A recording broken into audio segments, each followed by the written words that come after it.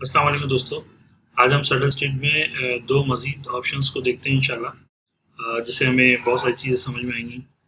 और उसके अंदर ये होगा कि थोड़ा सा हमें और बेहतर तरीके से जो है सडल स्टेज को मैं समझाने की कोशिश करता हूँ इंशाल्लाह इसके अंदर।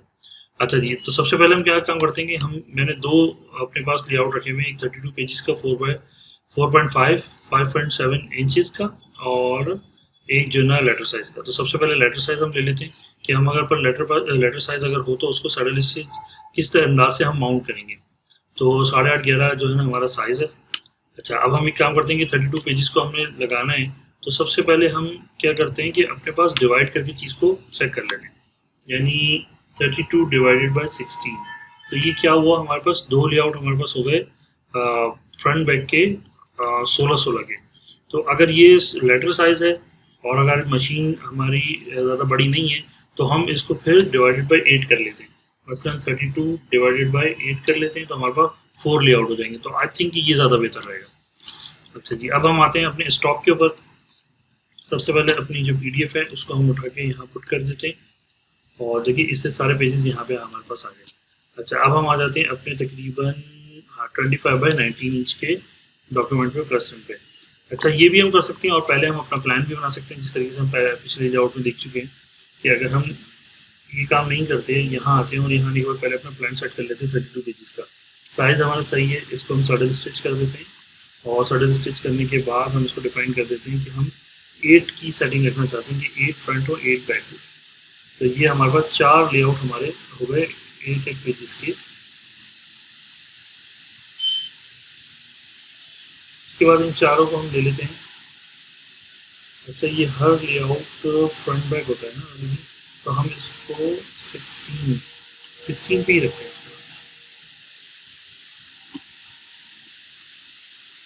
इसको 16 पे रखते हैं कि बस ये दो लेआउट है। एक फ्रंट बैक और एक फ्रंट बैक तो ऑटोमेटिकली चार लेआउट हो हमारी। अच्छा ये फोल्डिंग पैटर्न जो है, हम इस पर कौन सा लें? तो इन दोनों, जो भी फोल्डिंग पैटर्न हम लेंगे, पहले क्या करेंगे? पूरे को अपना हम दोनों को सिलेक्ट कर लेंगे शिफ्ट दबा के। यहाँ आए और फोल्डिंग पैटर्न हमें लिया और हम कहते हैं कि फोल्डिंग पैटर्न हमारा ये वाला आ जाए एफ़ सिक्सटीन सेवन और इसको मैं कह देता हूँ फ्लिप फ्लिप करने का फ़ायदा ये होता है कि मुझे क्लियर हो जाता है। मैं चाहता हूँ हमेशा कि वन और सिक्सटीन इस तरफ़ आ रहे हैं इसके रोटेशन की जाए।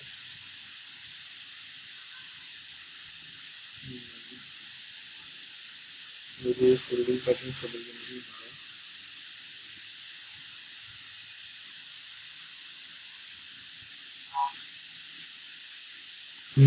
वन हम्म, और सिक्सटीन वाला जो फोल्डिंग पैटर्न है तो ये मुझे समझ में आता है इससे ज़रा फोल्डिंग में मुझे कन्फ्यूज़न नहीं होती है। तो ये मैंने सेलेक्ट कर लिया। अच्छा जी और इन दोनों के लिए हमने यही फोल्डिंग पैटर्न जो है वो डिफाइन कर दिया। अच्छा जी अब अपना जो हमारा हेड ट्रिप है ज़ीरो पॉइंट टू फाइव रखेंगे। फेस ये भी ज़ीरो पॉइंट टू फाइव रखेंगे में इसके ज़ीरो ही रखनी होगी।